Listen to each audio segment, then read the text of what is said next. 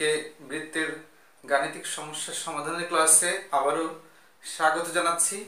আজকে আমরা যে দুইটি সমস্যার সমাধান করব, সেগুলো খুব সহজ এবং মূলত এই ধরনের প্রবলেমগুলো জ্ঞানমূলক এবং এমসিকিউ হিসাবেই বেশি আসে। প্রথমে আজকে আমরা যে অঙ্কটি করব, তা হচ্ছে বলা হয়েছে যে কোনো একটা বৃত্তের কেন্দ্র হচ্ছে ফোর কমা মাইনাস ফাইভ এবং বৃত্তটি মূল বিন্দু দিয়ে গমন করে।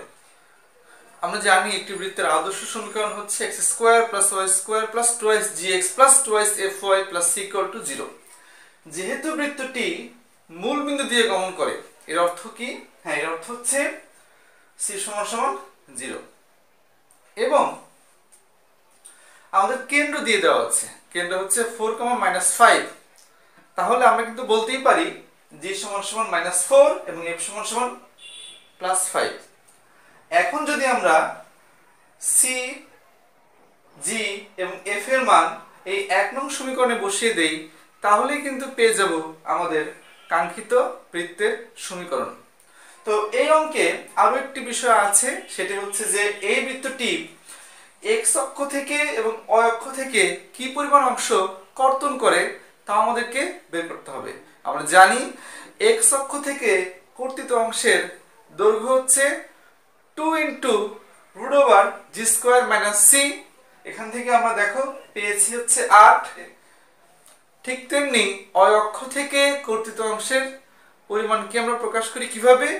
Two root over f square minus c বা এখান থেকে আমরা যে মানটি পেয়েছি তা হচ্ছে টেন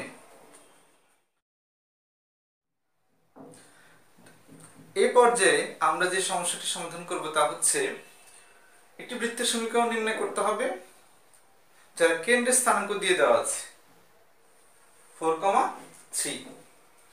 বলা হয়েছে যে এই বৃত্তটি এই বৃত্তটি অন্য আরেকটি বৃত্ত যার কেন্দ্র হচ্ছে জিরো জিরো এবং ব্যাসার্ধ হচ্ছে টু, এরকম একটি বৃত্তকে বহিস্থভাবে স্পর্শ করেছে।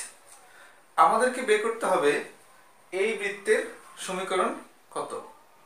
তো তোমরা জানো যে কোনো একটা বৃত্তের কেন্দ্র যদি এইচ এবং কে হয় এবং ব্যাসার্ধ যদি হয় আর সেক্ষেত্রে বৃত্তের সমীকরণ হচ্ছে x minus h whole square plus y minus k whole square সমান সমান আর স্কোয়ার মূলত এই সমীকরণকে আরেকটু সিম্পলিফাই করে, কিন্তু আমরা বৃত্তের যে আদর্শ সমীকরণ x square plus y square plus twice g x plus two twice f y plus c to zero এটি পাই।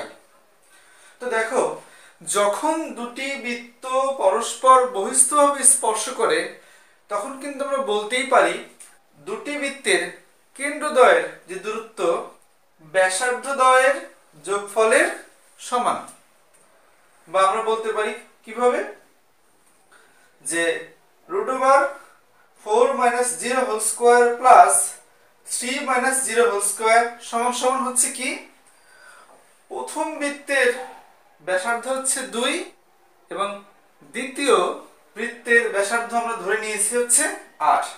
তো দেখো, এখান থেকে আমরা খুব সহজেই আর এর মান পেয়ে যাব বা সমান সমান হচ্ছে থ্রি তো আর এর মান এবং কেন্দ্রের স্থানাঙ্ক যদি আমরা এক নং সমীকরণে বসিয়ে দেই, তাহলে পেয়ে যাব হচ্ছে আমাদের কাঙ্ক্ষিত বৃত্তের সমীকরণ। তো সবাই ভালো থাকো, আজ এ পর্যন্তই।